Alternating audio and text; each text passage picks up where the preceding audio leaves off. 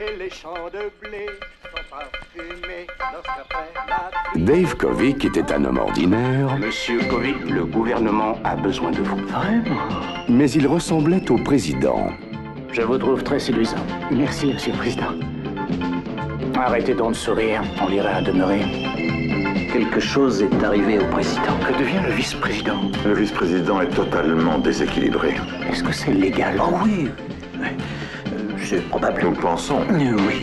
Dave a soudain un métier en or. Je peux pas tout te raconter, c'est un truc du genre secret défense. Aide-moi à économiser sur le budget. Tu dois réduire le budget? Il a une superbe maison, Je dois faire le zéro. Un vrai boulot de débutant. Si je m'occupais de ma boîte aussi mal, j'aurais déjà déposé le bilan. et une femme merveilleuse. Tu n'aurais pas pu crever d'une embolie comme le commun des mortels. Elle me hait vraiment. Et le comble, c'est que tout le monde l'adore.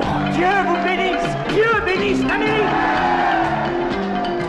Est-ce qu'il aurait découvert la fontaine de Jouvence? Kevin Klein, nommé aux Oscars pour Un poisson nommé Vanda.